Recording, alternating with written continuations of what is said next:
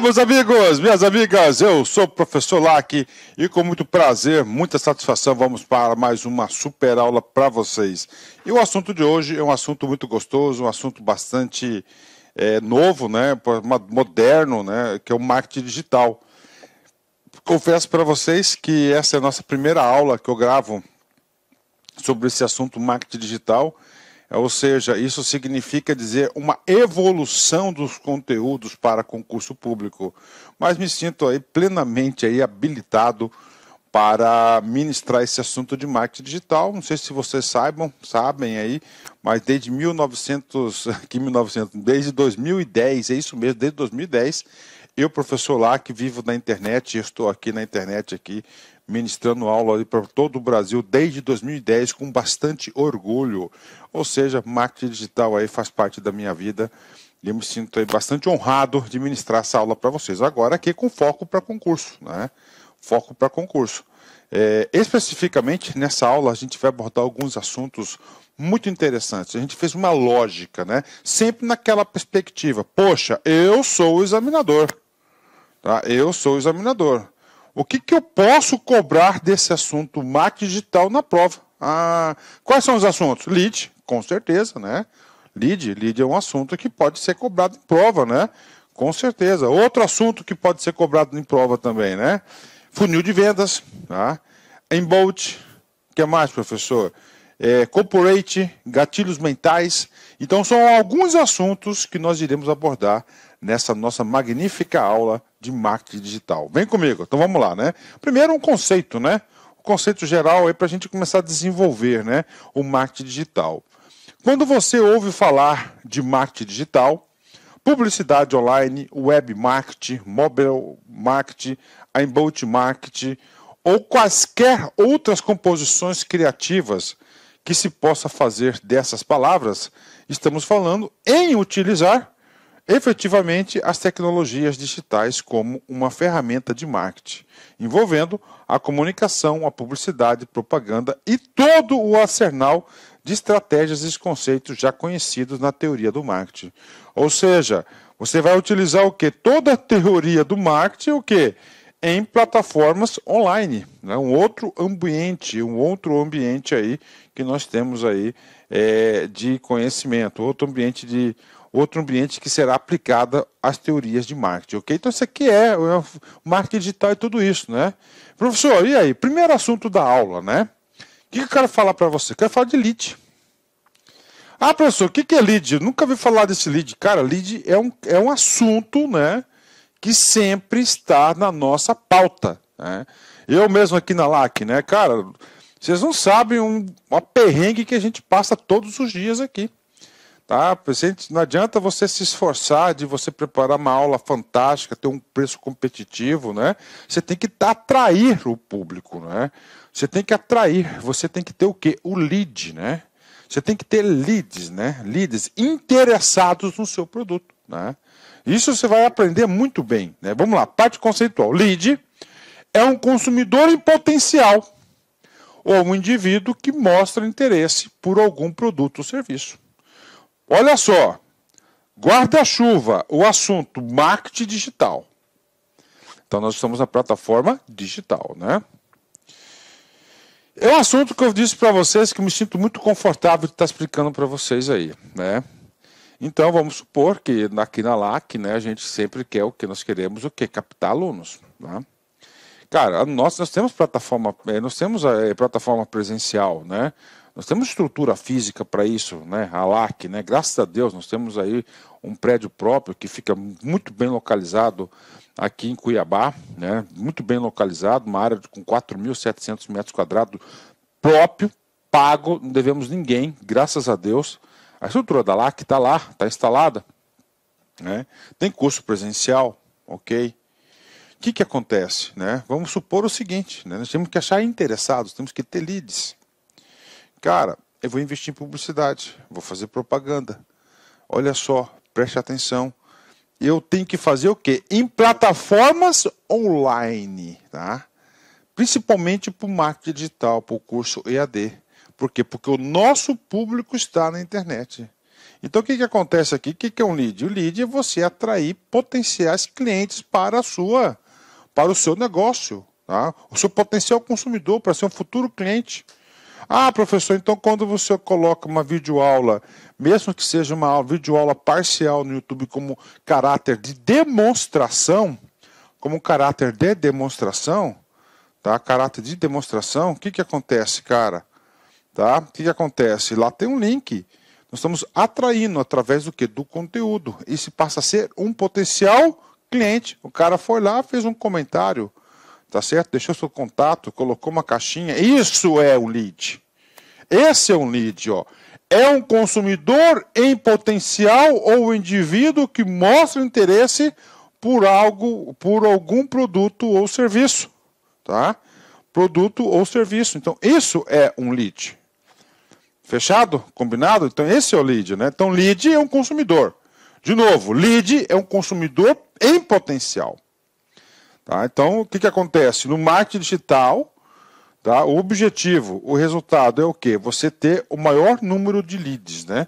Aí nós vamos falar de qualificação de níveis, leads um pouquinho mais para frente.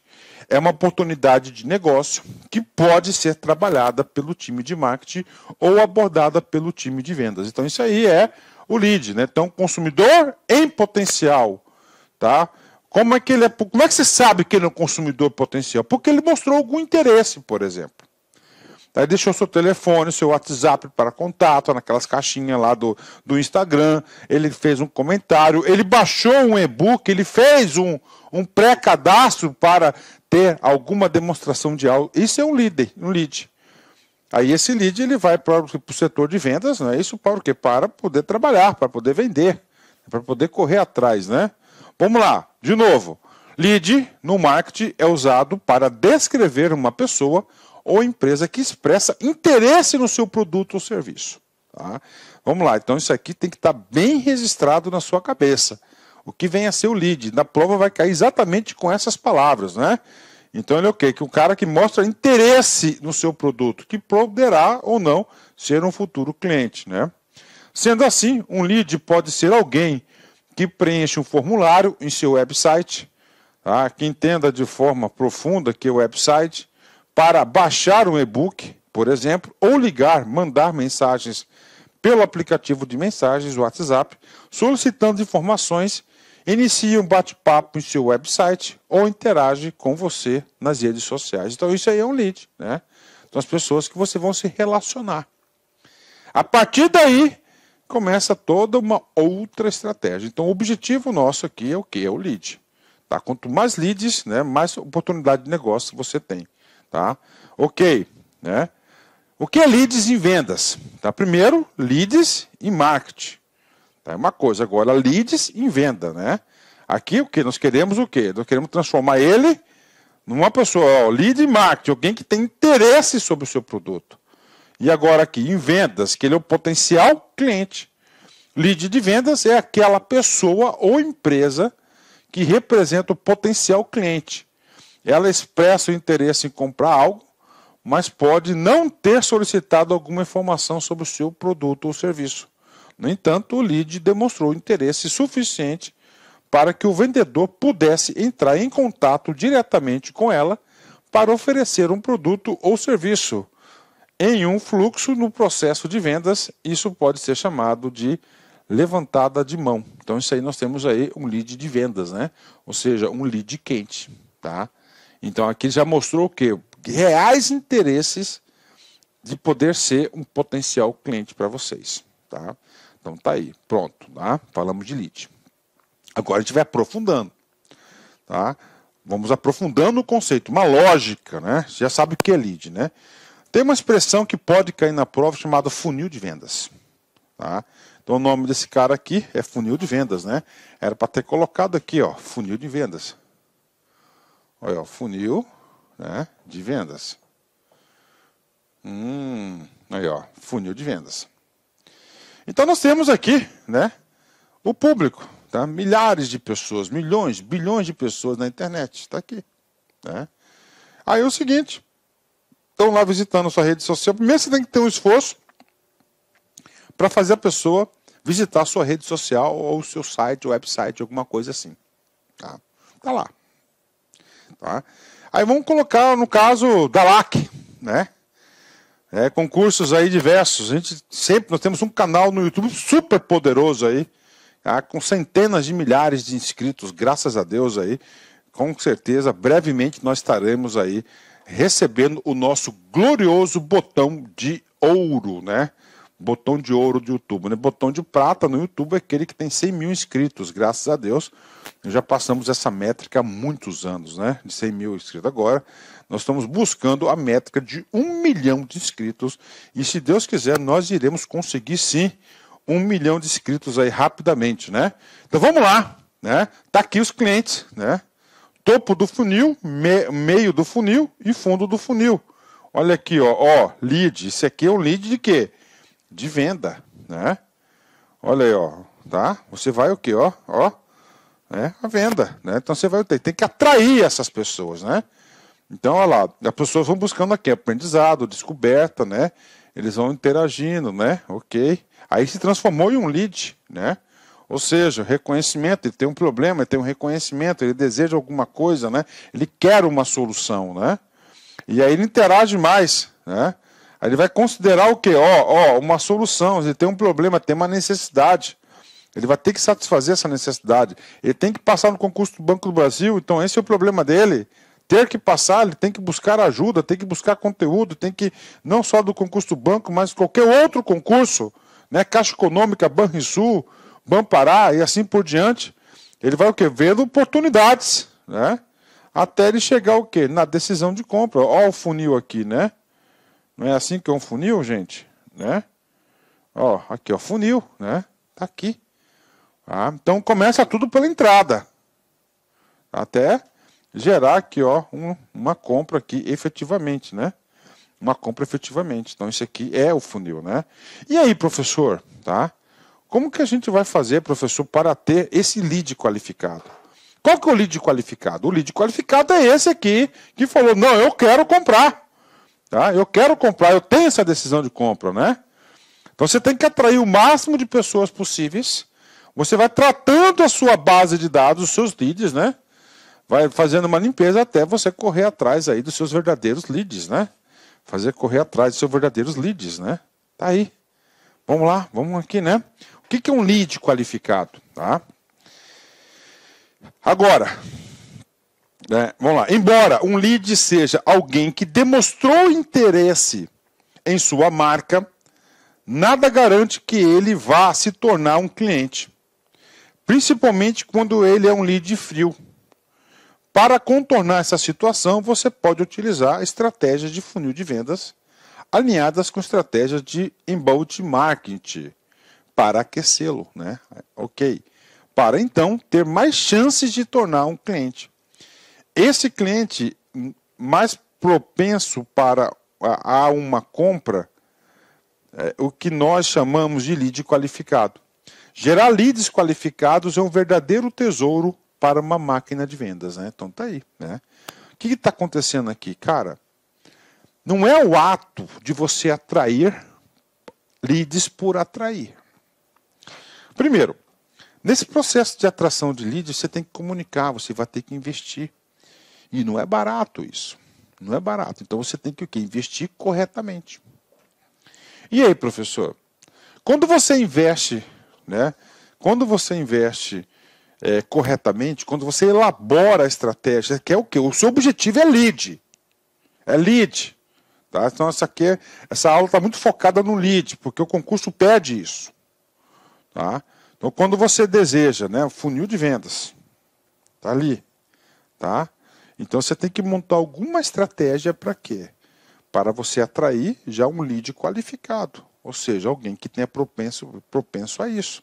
Aí vem uma estratégia aqui, né, que está aqui, ó, ó estratégias de inbound marketing, de atração, né, inbound marketing, tá aí. Então, esse inbound marketing, agora eu vou passar para vocês alguns insights importantes no sentido de quê? De que você consiga atrair um lead mais qualificado. Tá? Então, vamos lá, inbound marketing, outro assunto. Tá? Então você já sabe que é o lead, um potencial consumidor, um potencial cliente. E agora? Agora eu quero atrair, sim, só que eu quero atrair mais leads qualificados. Então eu tenho que montar uma estratégia de atração diferenciada. Qual é a metodologia que eu posso utilizar? Por exemplo, nesse caso, o inbound marketing. Tá aí. O que, que é isso, professor? O termo inbound marketing pode ser definido como marketing de atração. Então é o seguinte, você está aqui produzindo um conteúdo, por exemplo. Tá? Que com certeza o conteúdo está aqui. Né? Você, como tem interesse nesse conteúdo, você vai buscar esse conteúdo. Você buscando esse conteúdo, você vai me encontrar. Você vai me encontrar. Isso que é o marketing de atração. Tá? O principal diferença entre o marketing tradicional, que chamamos de outbound marketing, atenção, pode cair na prova, o examinador pode querer saber se você sabe a diferença do outbound para o inbound marketing, né? Então, o outbound marketing é conhecido como marketing tradicional, tá? O inbound marketing é o marketing aí que a gente chama de marketing de atração, que é o moderno, né? O inbound, que é no segundo, quem procura a empresa é o cliente e não ao contrário, ó. ó o inbound, que é no segundo, né? Quem procura a empresa é o cliente e não ao contrário. Não a empresa que vai procurar o cliente, né? Então o cliente acaba achando a empresa, né? Só para finalizar. Então, em Bolt Market, conceitos, está tá, tá destacado esse assunto aqui em amarelo. Dada a importância do assunto, isso pode cair na sua prova. É um conjunto de estratégias de marketing que visam atrair e convencer clientes usando conteúdo relevante. Olha aí, ó. É um conjunto de estratégias de marketing que visam atrair e converter clientes usando conteúdo relevante. Então, marketing de conteúdo ele é muito importante para você atrair clientes no Inbolt. Né? Então, você está produzindo, você está dando uma entrega para o cliente tá, de um conteúdo que ele está precisando. Né? Claro que você vai ter que entregar, não 100%, né? você vai ter que entregar uma parcela aí onde ele possa testar o seu conteúdo e se ele verificar se eles têm interesse em relação a isso, ele vai se transformar aí num lead de vendas e ele vai poder tomar a decisão de compra com certeza. Tá? Então essa é a estratégia. Então, funil de vendas. Então o que, que acontece? Que o, cara, o cara tem que ter uma estratégia para atrair leads. Tá? Nem todo lead que entra no seu funil vai ser aquele que, que vai chegar na decisão de compra, mas quanto mais qualificado você atrair, maior vai ser a sua conversão. Então é melhor oferecer o quê? Oferecer um conteúdo, né, um, um conteúdo onde as pessoas acabam se encontrando. Eu sempre falo, cara, o pessoal sempre acaba encontrando a LAC, né? Você que está aí, que veio do nosso YouTube, né? Que a maioria dos nossos alunos vem do YouTube, ele vai lá estudar concurso tal, ele vai achar a nossa aula. E a gente tem aí muitos vídeos, muitos vídeos, eu acho que tem poucos canais que tem a quantidade de conteúdo que nós produzimos aí ao longo desses anos, com muito orgulho, né? Eu trato isso como fosse um membro da minha família, pode ter certeza, eu tenho muito orgulho disso. Então isso aí é atração. Tá? Olha a estratégia, isso cai em prova de pode cair na prova de ainda não caiu porque é assunto novo, é assunto novo, tá? Mas agora, como disse no começo da aula, na introdução, é a evolução do conteúdo programático, né? De novo, é um conjunto de estratégias de marketing que visam atrair tá? e converter clientes usando conteúdo relevante.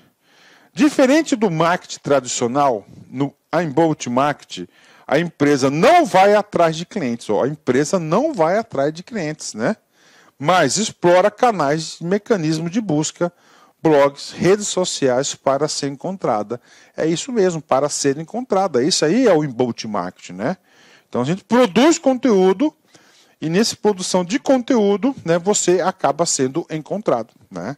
Então, de acordo com a necessidade. Isso acontece muito, né? Acontece muito mesmo, né? Principalmente em treinamentos, né? IAD, né?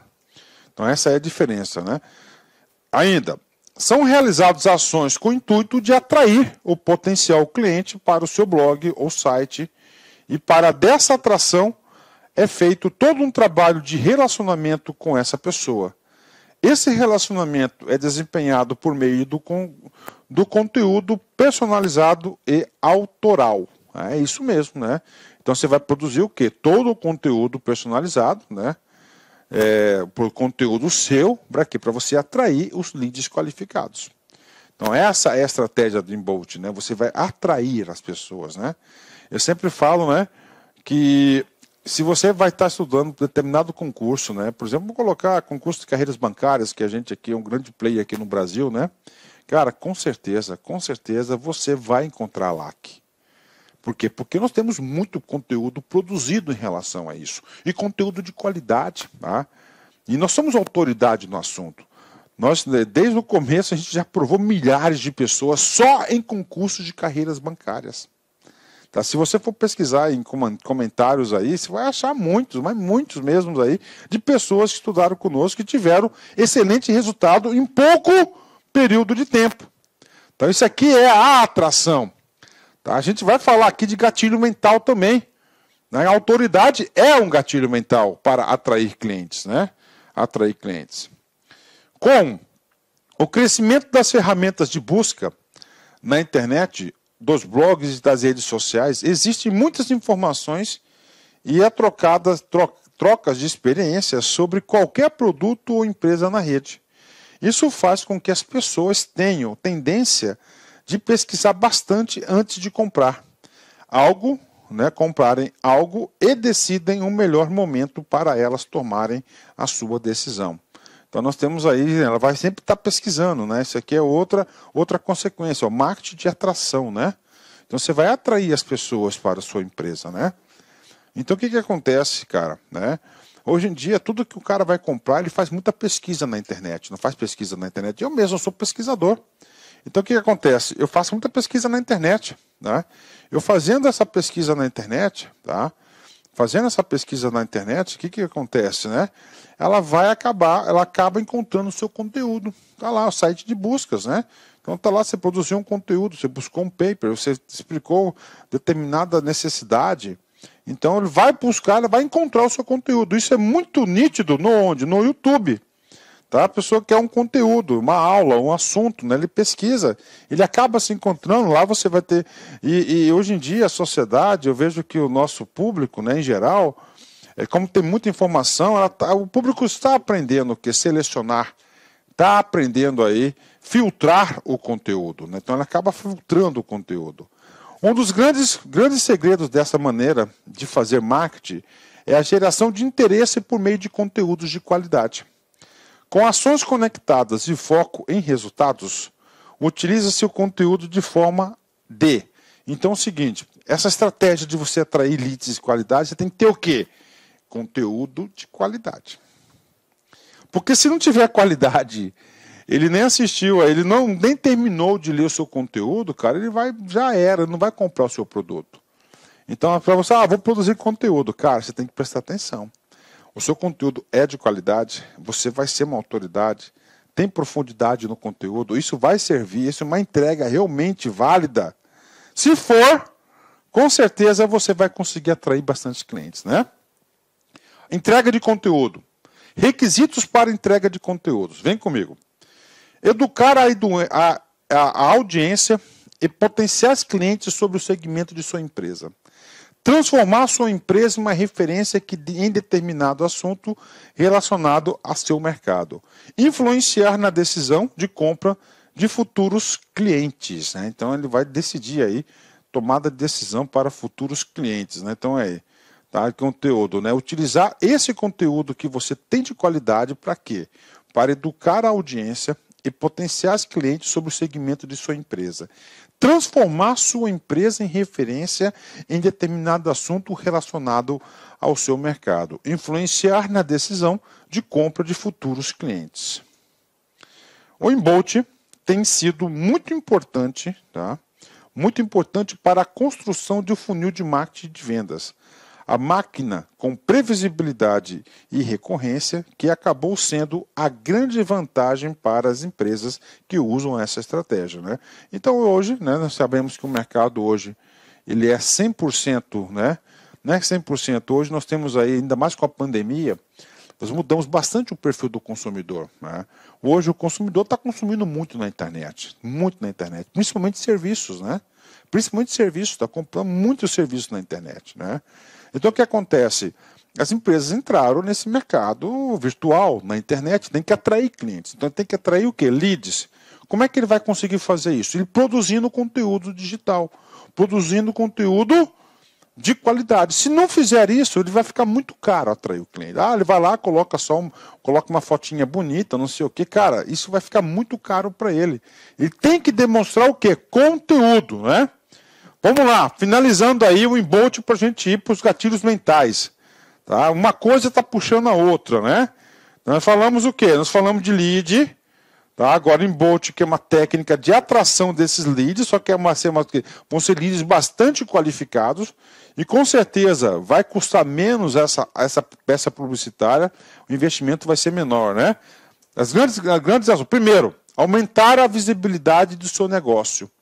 Sua empresa marca presença em diferentes canais de divulgação, porque ele passa a ser um produtor de conteúdo de qualidade. Né?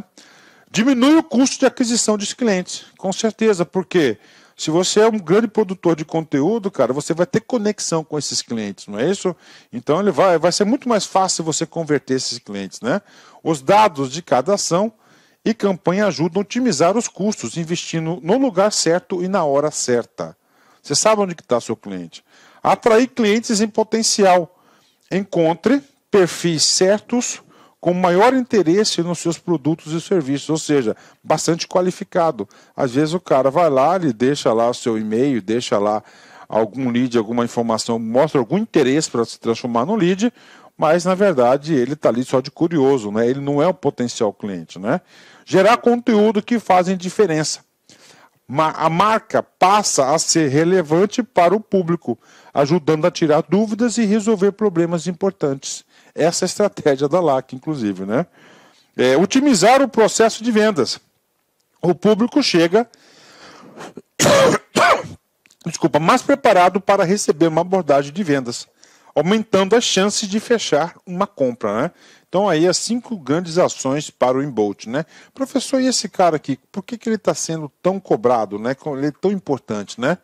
O mercado está comprando a ideia aplicar de aplicar a metodologia em Bolt Market, principalmente porque é 62% mais barato que o marketing convencional que estávamos acostumados a fazer. Então hoje, cara, você ter uma estratégia de Bolt Marketing, ela custa 62% mais barato, tá? Mais barato do que você aí fazer o marketing tradicional. Então, esse é o motivo. E além de ele ser mais barato, ele dá muito mais resultado, né? Professor, como é que funciona essa metodologia? eu peço licença para vocês, pois interrompi os seus estudos, mas essa videoaula é uma videoaula demonstrativa para os alunos conhecerem melhor o nosso querido site aqui da LAC Concursos, o site especialista em carreiras bancárias papo reto com vocês. Desde 2010 até a presente data, nós já tivemos a oportunidade de oferecer cursos EAD online para todos os concursos de carreiras bancárias do Brasil. Banco do Brasil, Caixa Econômica, BRB, Banrisul, Banestes, Banpará, Banco do Nordeste entre outros. E nós já tivemos milhares de alunos aprovados ao longo desse período estudando conosco aqui na Lá Concurso. E claro, nós estamos fazendo um curso fantástico, você pode ter certeza, olhando olho no olho, aqui você vai ter o melhor custo-benefício do mercado. Tá? Um curso super atualizado, ponto a ponto do digital, pode acreditar, didática maravilhosa, que não é conversa de vendedor, que você vai gostar.